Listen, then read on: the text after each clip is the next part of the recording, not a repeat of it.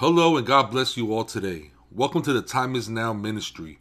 Today is Sunday, August 19th, 2018, and we are beginning a new series called Who Am I in Christ? Let us read Matthew 5 13 through 16. And it says, You are the salt of the earth, but if the salt loses its flavor, how shall it be seasoned? It is then good for nothing but to be thrown out and trampled underfoot by men. You are the light of the world. A city that is set on a hill cannot be hidden, nor do they light a lamp and put it under a basket, but on a lampstand, and it gives light to all who are in the house. Let your light so shine before men that they may see your good works and glorify your Father in heaven. What a special message we just read here. In verse 13, Jesus tells us that we are the salt of the earth. What exactly does the salt of the earth mean for us? In Jesus' day, salt was not only used to season food, but also to preserve it from decay. This means that we as Christians help protect society from moral and spiritual decay, especially through work that affects laws and thoughts of people. When we stand up for Jesus and the values that he gives to us, we are helping to prevent the spread of evil. When the world shows hate, we are to show love. When the world curses us, we are to bless them. When the world tries to show that God does not exist, we are living examples for God's reality. We are the salt of the earth. In verse 13, Jesus also asked the question if the salt loses its flavor, how shall it be seasoned? Jesus wants to have a relationship with us. We need to seek our Lord daily and as often as possible. The more time we spend in God's presence and reading His Word, building ourselves up, becoming strong and educated in what the Lord has to say to us, we won't lose our flavor.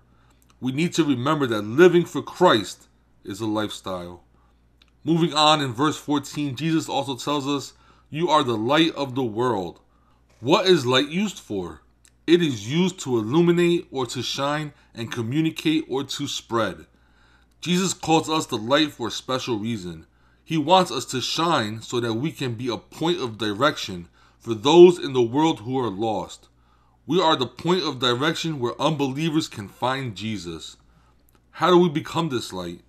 We do so by living according to the way Jesus commands us to live in the Bible and attracting the world with Christ's love.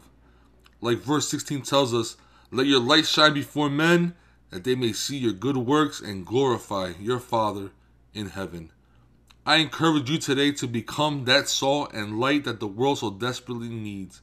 Put forth the effort to continuously develop your personal relationship with our Lord. Know His Word and who you are in Him. Our nation is lost. There is so much divide and hate being spread around. The evil in people's hearts are being worn on their sleeves. We need to show them different. We need to show them Christ. We need to be salt and light.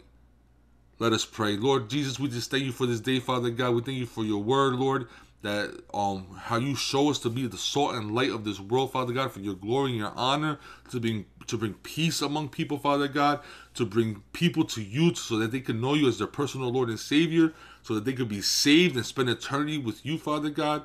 Lord, we thank you for your protection, Father God, for your blood covering over our lives right now, Father God. We just give you all the glory and honor for everything that you have done for us, that you're doing for us, and that you're going to do for us, Lord God. And Lord, right now, we just pray for your hedge of protection over us, Father God. Satan and demons, I bind, break, and cast out all evil plans that you have against each of us right now.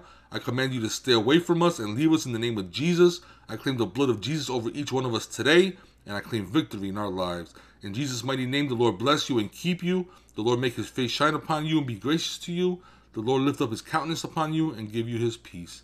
In Jesus' name, amen.